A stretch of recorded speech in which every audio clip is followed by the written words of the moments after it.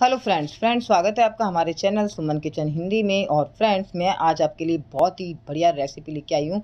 आज हम बनाने वाले हैं ऐसी सब्ज़ी जो पनीर की सब्ज़ी के स्वाद को भी कर दे फीका। यानी कि आज अगर आपके घर में किसी भी तरह से हरी सब्ज़ी नहीं है, अभी है लॉकडाउन और सब्ज़ी लाना थोड़ा सा मुश्किल काम है और अगर सब्ज़ी घर में किसी भी तरह से मौजूद नहीं है तो आप इस तरह से यहाँ पे घर में नॉर्मल चीज़ों से ये सब्ज़ी बना के खा सकते हैं। तो चलिए, सुपर टेस्टी इस रेसिपी सब्ज़ी को बनाना शुरू करते हैं। यहाँ पे देखिए मैंने एक कटोरी बेसन लिया है और जो बेसन है, वो आप किसी भी तरह का ले सकते हैं, बारीक या मोटा। और घर में बेसन तो हर किसी के पास होता है तो यहाँ पे देखिए एक बड़े बर्तन में बेसन को खाली कर लेंगे। और ये सब्ज़ी जो है, बहुत ही पुरानी है, बहुत ही पुरानी फ़ेमस रेसिपी है। बेसन के अंदर ऐड करेंगे थोड़ी सी अजवाइन, दो से तीन पिंच, जो डाइजेशन के लिए काफ़ी अच्छी होती है। बेसन थोड़ा गैस्ट्रिक प्रॉब्लम करता है। यहाँ पे एक छोटा चम्मच नमक का ऐड करेंगे। आप नमक अपने टेस्ट के अकॉर्डिंग ले सकते हैं फ्रेंड्स। यहाँ पे दो से तीन पिंच हल्दी पाउडर ऐड करेंगे हल्का सा कलर देने के लिए। और यहाँ पे दो से तीन पिंच मैंने रेड चिली पाउडर ऐड किया है।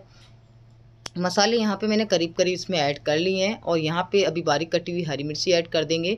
और आप चाहें तो इसमें बारीक कटा हुआ हरा धनिया भी ऐड कर सकते हैं, या अगर आपके पास थोड़ा सा पालक है तो अगर पालक भी है तो आप पालक भी इसमें अच्छे से कटिंग करके, बारीक कटिंग करके ऐड कर सकते हैं। यहाँ पे देखिए, अभी मैं पानी ऐड कर रही हूँ, इसमें पानी ऐड करके यहाँ पे इसका एक बैटर बिल्कुल पतला सा बैटर बनाना है हमें। तो अभी देखिए, मैं आपके सामने बना रही हूँ इसमें पानी ऐड करके, और आपको मैं बैटर की कंटेंसी बता दूँगी लास्ट में बनाने के बाद में कि आपको किस तरह से रखनी है। तो फ्रेंड्स, ये जो सब्ज़ी है, इसको बोलते हैं बेसन पतोड़ा सब्ज़ी। आप इस सब्ज़ी को क्या बोलते हैं, इस तरह से बनाते हैं तो मुझे कमेंट्स बॉक्स में कमेंट्स करके ज़रूर बताना। अगर आप इस रेसिपी को देखते हैं या आपको इसके बारे में थोड़ा सा भी नॉलेज है तो मुझे कमेंट्स बॉक्स में कमेंट्स करके आपको ज़रूर बताना है कि आप इस रेसिपी को क्या बोलते हैं। हम इसे बोलते हैं बेसन पतोड़ा की सब्ज़ी और बहुत ही टेस्टी, बहुत ही डिलीशियस, बहुत ही यम्मी लगती है ये सब्ज़ी खाने में। राजस्थानी जो बेसन के गट्टे होते हैं, उससे भी ज़्यादा टेस्ट इस सब्ज़ी के अंदर आता है, बहुत ही बढ़िया। तो यहाँ पे देखिए, अभी मैं बैटर बना रही हूँ, पूरी तरह से बैटर बन के तैयार नहीं हुआ है। तो जैसा कि मैंने आपको बताया, आप इसमें पालक, हरा धनिया भी ऐड कर सकते हैं। यहाँ पे देखिए, इस तरह से मैंने बैटर पूरा बना लिया है। थोड़ा सा पानी इसमें अभी और ऐड करेंगे, क्योंकि बिल्कुल हमें बिल्कुल पतली कंटेंसी रखनी है, क्योंकि बेसन है। इसका सीक्रेट मैं आपको बाद में बताऊँगी कि मैंने इसको इतना पतला क्यों रखा है। अगर आप इसको गाढ़ा रख देंगे तो बिल्कुल भी अच्छा नहीं बनेगा। बिल्कुल इस तरह से पानी की कंटेंसी रखनी है आपको, जैसे पानी होता है ना, उस तरह का बैटर रखना है आपको बिल्कुल पतला और बिल्कुल भी लम्ब इसमें नहीं होने चाहिए। गैस पे कढ़ाई रखी है मैंने और यहाँ पे देखिए इसके अंदर थोड़ा सा ऐड करेंगे तेल। तेल आप कमी ऐड करें और वैसे भी अभी जो बीमारी चल रही है उसमें हमें ऑयल से परहेज करना चाहिए ऑयल कम ही खाना चाहिए। तो यहाँ पे देखिए मैंने एक से दो चम्मच तेल ऐड किया है। तेल में हम ऐड करेंगे ज़ीरा। आप इसके अंदर बारीक कटा हुआ लहसुन भी ऐड कर सकते हैं, उससे भी काफ़ी बढ़िया टेस्ट और फ्लेवर आ जाएगा। तो जीरे को हल्का सा भून लेते हैं। हल्का सा यहाँ पे ज़्यादा नहीं भूनना है हमें जीरे को। जितना सब्ज़ी में पकाते हैं, उतना जीरा हमें नहीं भूनना है। दो से तीन पिंच मैंने हींग ऐड करी है यहाँ पे बढ़िया खुशबू के लिए। और डाइजेशन के लिए हींग और अजवाइन मैंने पहले से ही ऐड कर दिया क्योंकि बेसन थोड़ा सा गैस करता है। काफ़ी लोग बेसन खाना पसंद नहीं करते हैं। तो अगर काफ़ी लोग बेसन खाना पसंद नहीं करते हैं तो वो इस तरह से इसमें हींग और अजवाइन ऐड करके खा सकते हैं। उससे कोई प्रॉब्लम नहीं होगी, आपकी डाइजेशन भी अच्छा रहेगा। आप इजीली बेसन भी खा लेंगे। तो देखिए, यहाँ पे मैंने अभी बैटर ऐड कर दिया है। तो बैटर मैंने फ्रेंड्स पतला इसलिए बनाया था ताकि बेसन है, बेसन जब पकाते हैं तो काफ़ी थिकनेस आ जाती है। तो यहाँ पर देखिए, अभी इसमें काफ़ी थिकनेस आ चुकी है पकाने के बाद में। और अभी इसको हमें कंटिन्यू चलाना है, जब तक ये कढ़ाई अच्छी तरह से ना छोड़ दे तो यहाँ पे अभी इसको हम कंटिन्यू बिल्कुल गैस की फ्लेम मीडियम लो फ्लेम पे रखें और कंटिन्यू इसको आप चलाते रहें चलाते रहें चलाते रहें। बीच में आपको बिल्कुल भी नहीं छोड़ना है इसको इस तरीके से और चलाते चलाते आपको इसको में करीब लग जाएँगे। फ्रेंड्स, एक से दो से तीन मिनट भी लग सकते हैं आपको और यहाँ पे देखिए कंटिन्यू इस तरह से चला सकते हैं इसको आप। तो यहाँ पे इसको मुझे बनाने के अंदर, करीब पकाने के अंदर दो से तीन मिनट लग चुके हैं। और अभी इसको पकाना थोड़ा सा और बाकी है, जब तक ये बिल्कुल कढ़ाई नहीं छोड़ दे और उसका जो कलर है, बिल्कुल येलो नहीं आ जाए, क्योंकि हमने इसमें हल्दी ऐड करी है और बेसन को पकाने के बाद बेसन का कलर हल्का सा चेंज हो जाता है डार्क येलो कलर में आ जाता है।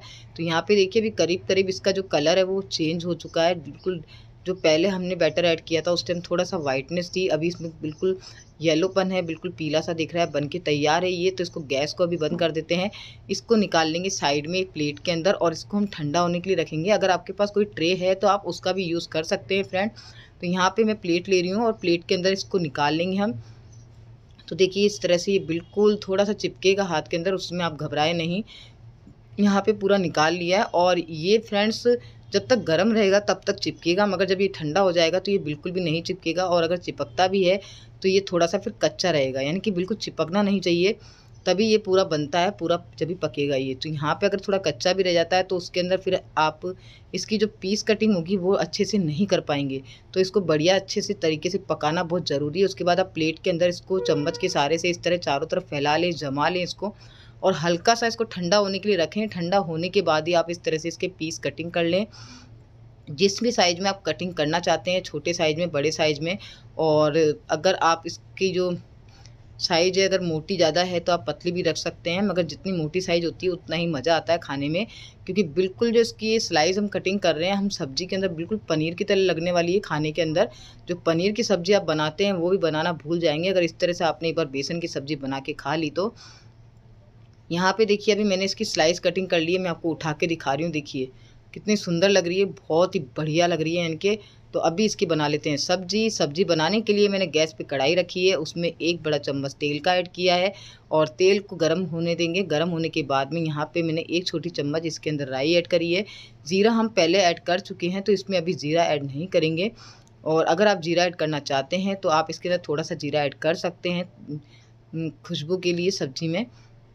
वैसे इसकी कोई आवश्यकता नहीं है। देखिए, राई में अच्छे से तड़का लग चुका है और यहाँ पे अभी इसके अंदर ऐड करेंगे हम लहसुन का एक चम्मच कुटा हुआ पेस्ट और लहसुन और प्याज। अभी आप इस टाइम पे जिस तरह से ये महामारी फैली हुई है तो उसमें आपको लहसुन प्याज का ज़्यादा से ज़्यादा उपयोग करना चाहिए क्योंकि ये हमारी इम्यूनिटी पावर को अच्छा करता है। यहाँ पे देखिए, हरी मिर्ची ऐड कर दी है, बारीक कटी हुई प्याज ऐड कर दी है। तो यहाँ पे प्याज, हरी मिर्ची, लहसुन तीनों को बढ़िया सा हम फ्राई कर लेंगे।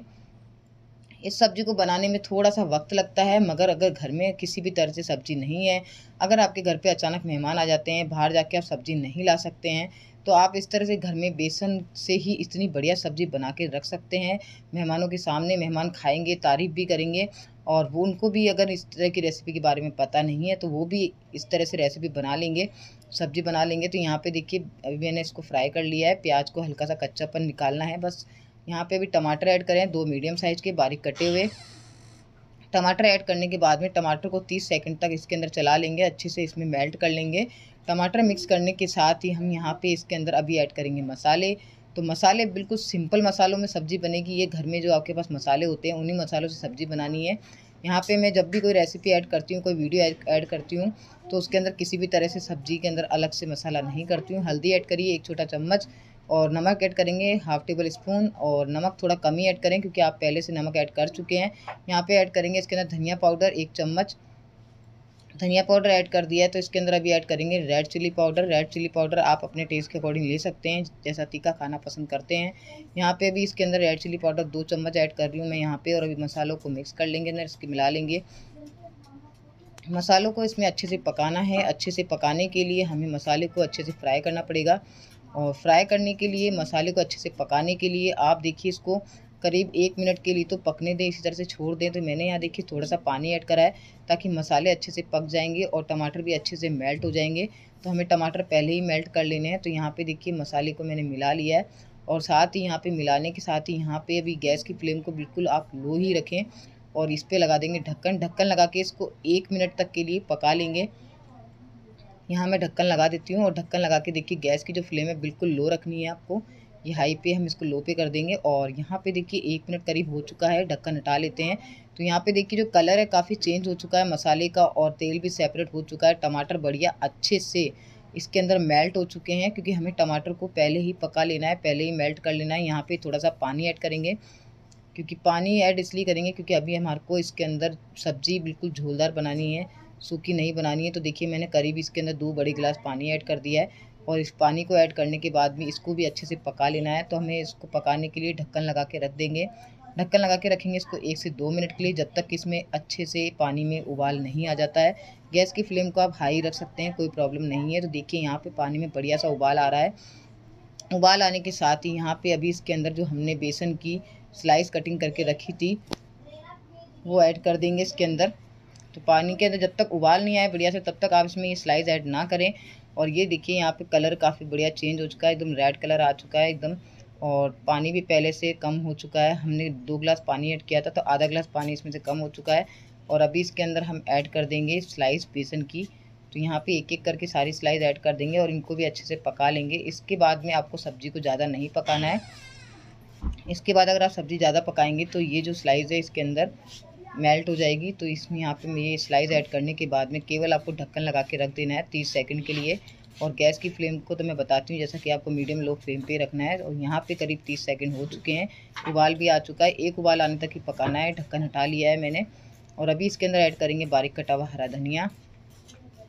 और स्लाइस भी देखिए, बिल्कुल टूटी नहीं है, बिल्कुल साबुत है तो यहाँ पर अभी बारीक कटा हुआ हरा धनिया ऐड कर देंगे और इस तरह से बारीक कटा हुआ हरा धनिया ऐड करने के बाद में इसको एक बार और हम अच्छे से चमचे के सहारे से मिक्स कर लेंगे और मिक्स करने के साथ ही यहाँ पे सब्ज़ी बन के तैयार है। तो फ्रेंड, वीडियो अच्छा लगे, वीडियो लाइक कर लें, चैनल सब्सक्राइब कर लें, घंटी बटन आप ज़रूर दबाएँ फ्रेंड्स, अगली नोटिफिकेशन पाने के लिए। तो चलिए फ्रेंड, मिलते हैं आपसे अगली नेक्स्ट वीडियो रेसिपी में।